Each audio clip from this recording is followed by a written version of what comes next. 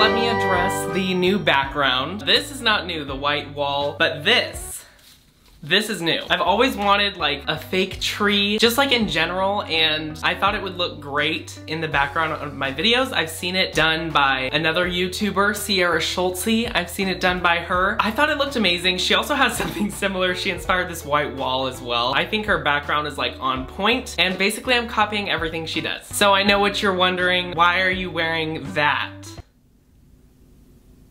My really ugly shirt. When I should be wearing the jean jacket I talked about in the title of this video, that's because I can't wear it if I want to show you the design on it because the design is on the back of the jacket.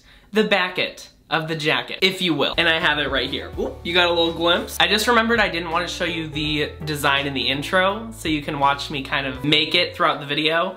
Um, so yeah, I've never painted like at all in my life. I mean, I've done it like in school and I've probably painted like a couple other times, but I am nowhere near being an avid artist. So please don't judge me on the design I did. I actually like thought of the design really quickly. I saw these denim jacket um, videos where people paint their denim jackets. I initially thought I had an amazing idea from my brain of painting a Bob Ross tutorial painting on the back of a denim jacket, if that makes sense. So I searched it up on YouTube and it was already done.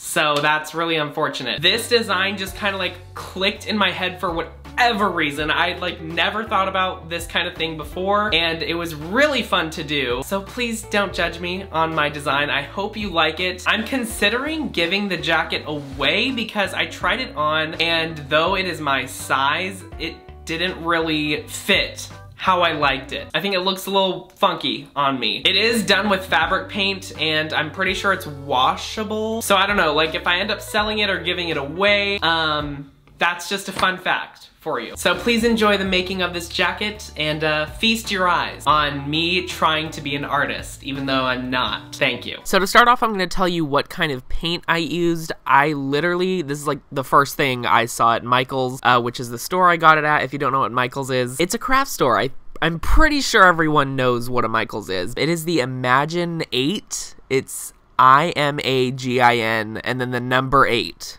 So that's very complex. I don't know why they named their company that because it's kind of confusing. But the paint I feel like worked great. Um, I don't have a whole lot to base it off of because, like I said, I'm not an artiste. I think in the end it turned out very well. Um, so that's the product I used. I just found a bunch of paint brushes in my apartment. So as far as specific paintbrushes, I don't really have um, any suggestions for that because I just grabbed the first thing I can find. The jacket is from Target. It's Goodfellow and Co. I believe that's Target's brand. And if you're wondering, it's in the size double XL.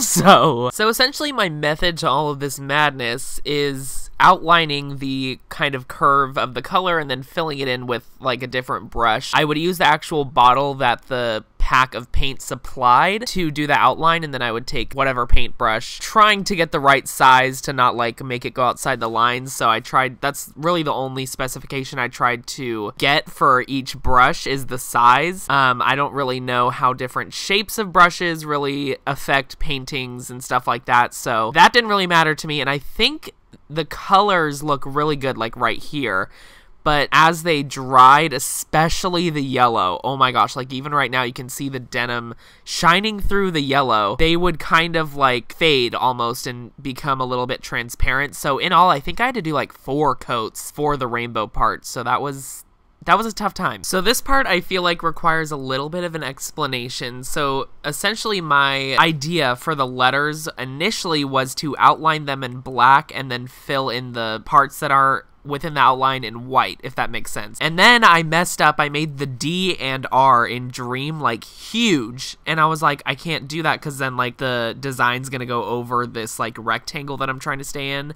as you can see. And so then I just spread out the paint and decided to do a black like paint stroke looking background for white letters, which I actually ended up liking a lot more than the initial. Well, maybe not. I don't know. I think they both look really good. But another thing I should point out now you can see the colors in the rainbow drying and starting to look a little bit crusty. So you'll see me do extra coats and stuff here soon. So here's me doing the second coat. I wish the colors would have stayed as bright as they look with like a fresh coat, which with this paint seemed to be probably the main problem. Because um, as you can see, as I'm going over them again, they look amazing. I think like even the yellow looks pretty darn good, especially the green. The green is really bright. And by the end, once it was like fully dried, you could not really tell the difference between the purple and the blue. And right here, obviously, you really can. Like the purple's pretty light and the blue is relatively dark, but is still a stark difference between the purple and the green next to it. But once it dried, it kind of just blended together into one like big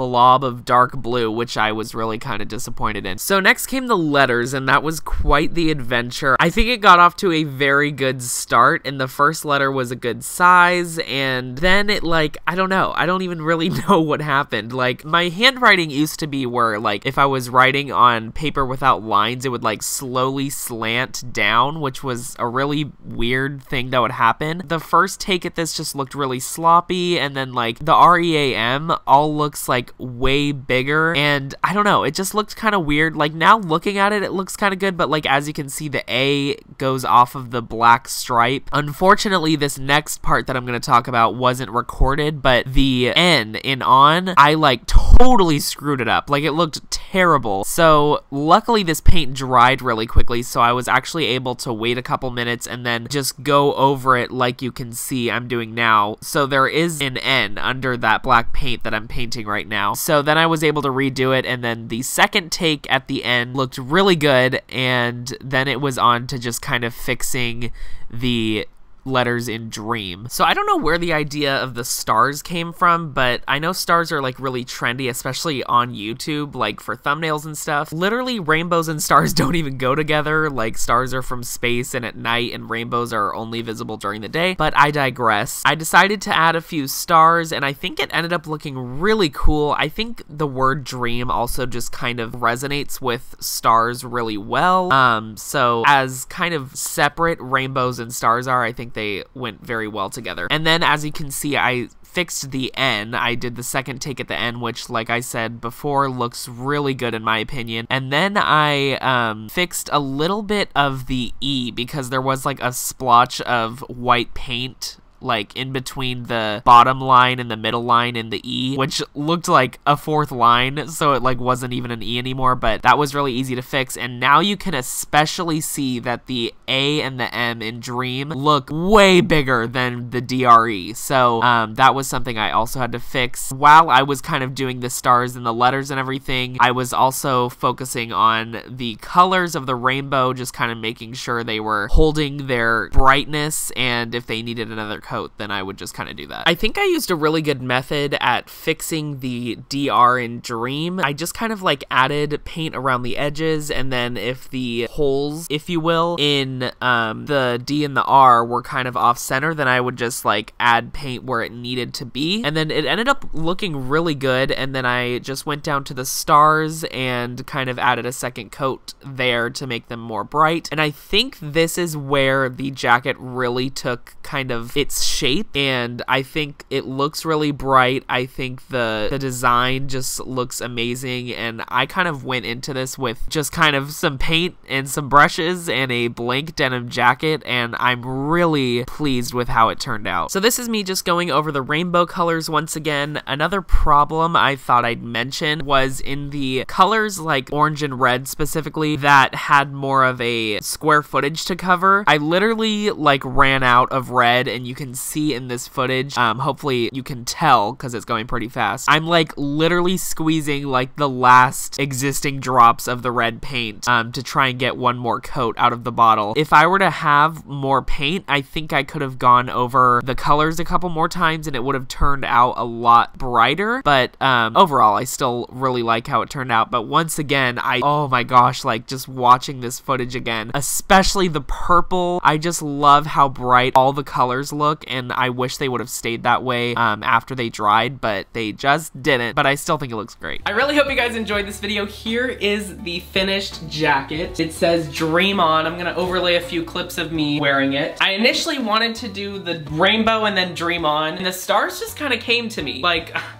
I'm just a genius like that. I think it takes up all the space really well. It doesn't really like overpower the back of the jacket. There's still a lot of color and a lot of subtlety in the black and white of the text and the white stars. I kind of wanted to outline the letters and stuff like that, but I just didn't. I don't know. I think it looks kind of cool how it's like paint strokey, if that's a word. It's not. Also the, um, I hope I didn't mention this too much in my voiceovers because I'm recording this portion of the video before the voiceover portion. The color of the denim is really dark and these are very bright colors, at least the yellow, orange, and red are. Oh wow, what the frick? You can barely even tell the difference between the purple and blue, by the way. It almost looks like they're both purple. But as I was saying, the denim, the dark color of the denim really shines through, especially in the yellow and the orange. The red did pretty well, and as you saw, I did go over it a few times, over each color, as a matter of fact. And I think this whole thing turned out really well. I would have liked the purple and blue to be a little bit more bright so you could tell what they are, but I think everyone knows what a rainbow is pretty much, so there you go. By the way, I didn't mean for this to be like a pride thing. I mean, I'm really glad that it like can be taken that way, but I don't know why a rainbow came to me. I really don't. This is how the text ended up looking. I think it turned out really well for what had happened during the process of the painting. I had to go over this N once and like redo it, and then the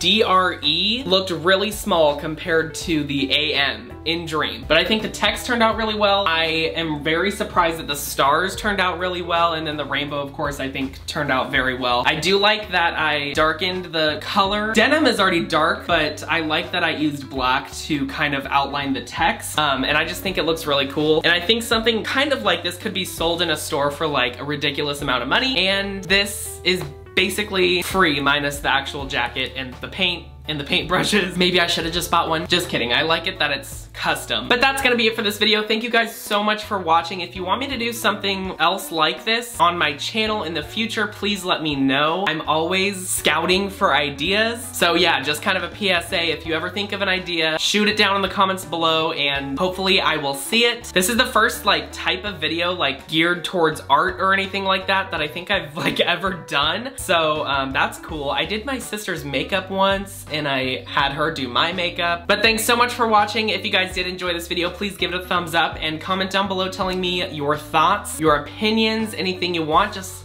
leave it down there, type on your little keyboard and let me know. And as always, don't forget to subscribe and hit the bell for the notifications because who doesn't want to be notified when I upload a video? I don't know. I upload every Saturday, so if you wanna see your weekend get 10 million times better, go ahead and subscribe and tap the bell. And that's gonna do it for this video. I love you guys so much, and I will see you next Saturday. Bye.